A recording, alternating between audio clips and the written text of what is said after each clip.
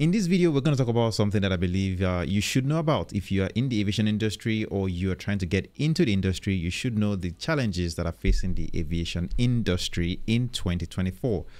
We're kind of halfway through the year, right? And I think it's important that we understand that a lot of these concepts that we'll talk about in this video or the information that we share in this video are really things that are often dynamic. And that is why it is very important for you to be in tune and up to date with the information that I'm sharing.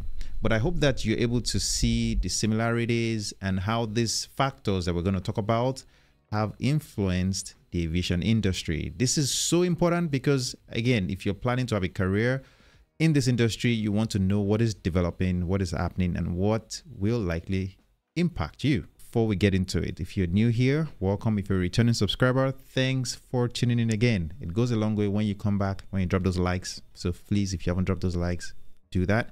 And of course, if you're new here and you haven't subscribed yet, please consider subscribing to the channel. So let's get into it. The first thing I want to share with you is this article that I found.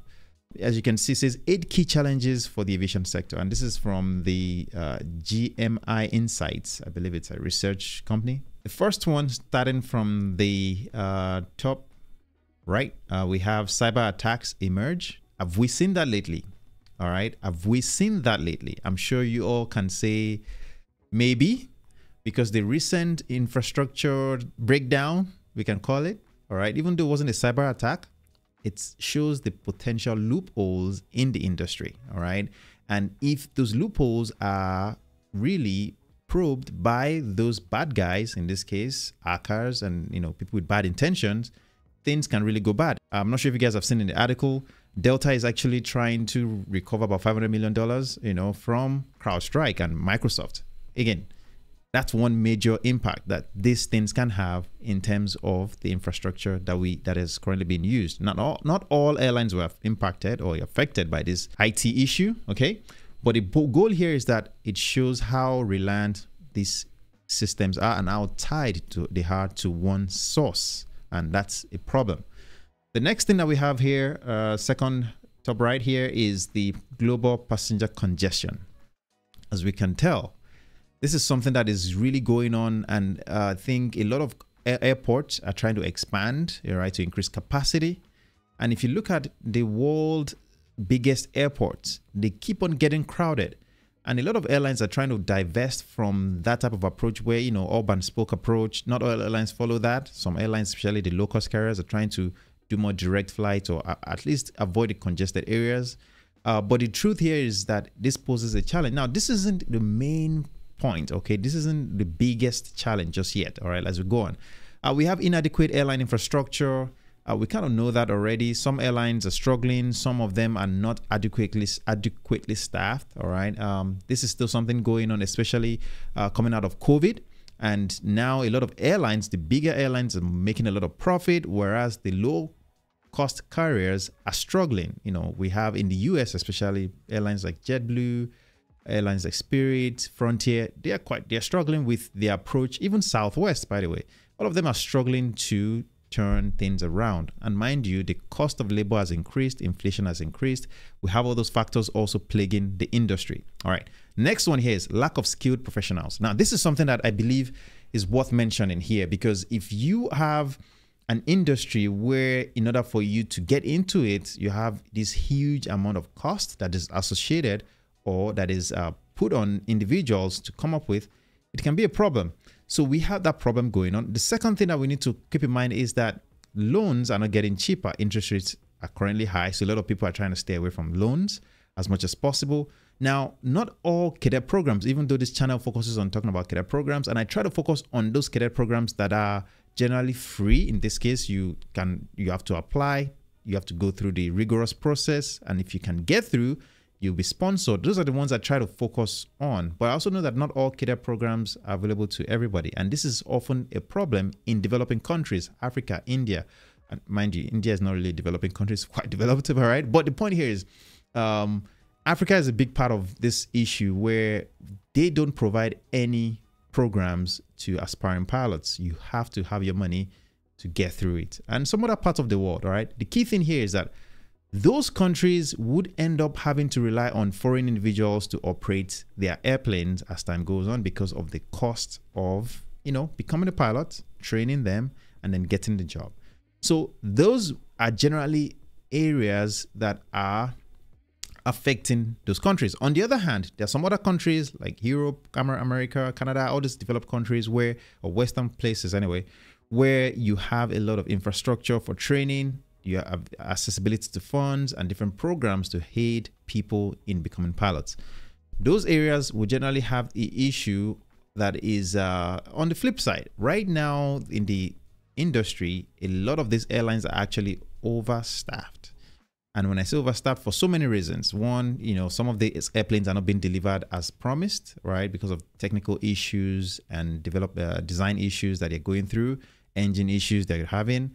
And then you then have the uh, problem of uh, over hiring going on in some industries as well, where they've hired too many people and now things are not really going as planned. So there's that, uh, I guess, dichotomy. I mean, that's the right word. But the point is, there's that two side issues. Right, some countries are lacking individuals or qualified people, while some people actually have too many of them uh, for the environment that they are currently operating in.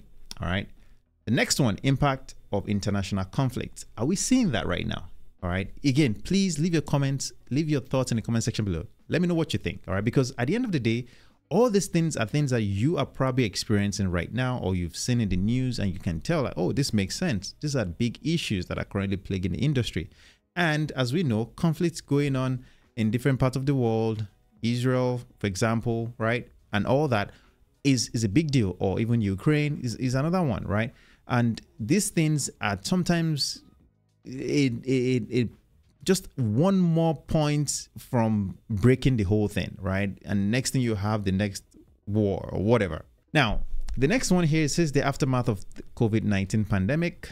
Well for most part for the airlines this has turned out to be well good thing because a lot of um, passengers are now flying. A lot of people are returning to the aviation industry to fly and things of that nature and I think this is more of a good thing for the industry for most part. And I, I, I don't think any airline will complain about having too many passengers at this point.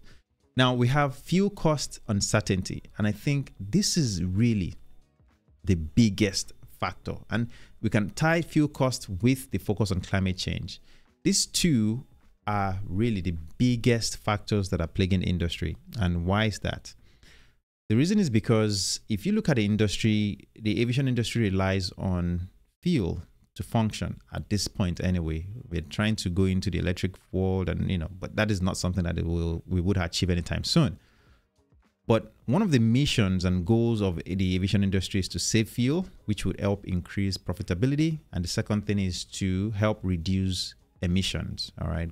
And in order to achieve that, the aviation industry has come up with the goals of reaching net neutral carbon emission by 2030 and they have the goal of reaching net zero emission by 2050 those two goals are things that the airline industry have been working towards. However it appears that things are hitting a snag and i'm going to share something with you right here. And this is from this is actually today at the recording of this video airlines dump climate goal opens door for industry to follow. All right. Now, the goal here is this. If you think about what is going on, and if you read it, this is Air New Zealand uh, decision to ditch its 2030 emissions target suggests more airlines will also have to confront a harsh reality. There's simply not enough SAF or sustainable aviation fuel or new, more efficient aircraft. Now the goal here is that uh, you know the one of the plans that airlines have adopted in reaching that goal over time is to buy newer airplanes, improve, uh, retrofit their engines with newer engines that are more fuel efficient, designing the airplanes to be more fuel efficient. All these factors, and if you go down the lines, even to the low cost carriers, they've gone as far as changing the type of seats they operate with to have lighter seats and reduce weight, which means you burn less fuel and of course, these airlines are always pushing for single engine taxi, flying efficient routes, uh, staying as efficient as possible.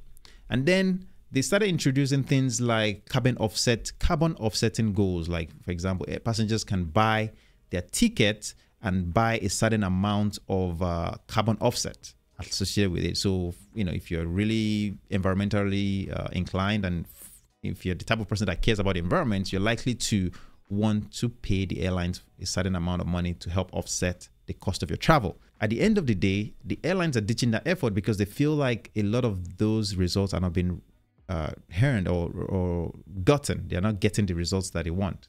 And the next thing to that is that SAF itself isn't readily available. It's something that goes through a lot of processes, whether through the production, and mind you, SAF can be gotten from different sources. It's not the typical jet A fuel that we have. And the problem with that now is you're unable to reach that goal. Now, some designs have come up with, or some scientists have come up with the ability to mix SAF with Jet A so that at least you kind of reduce emission.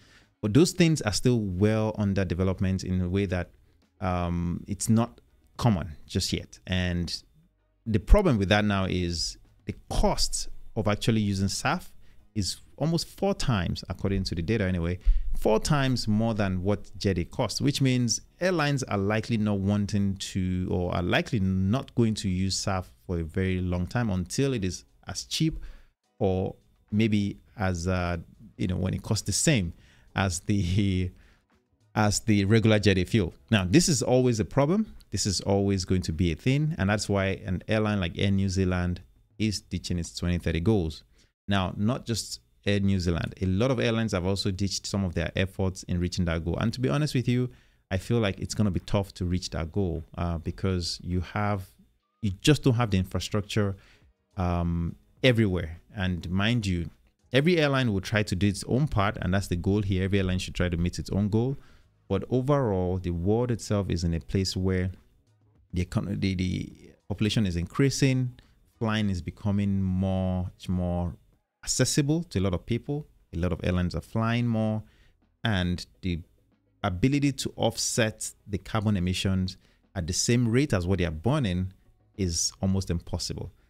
So, if you are thinking of the challenges that are plaguing the industry, if there's something else that I've missed in this video, please leave it in the comment section below. I wanted to share this information with you because I feel like if you're in the industry, in the industry, you should know about these things. I hope that you found value in this one. If you have, don't forget to drop a like on the video, and I'd love to see you in the next one.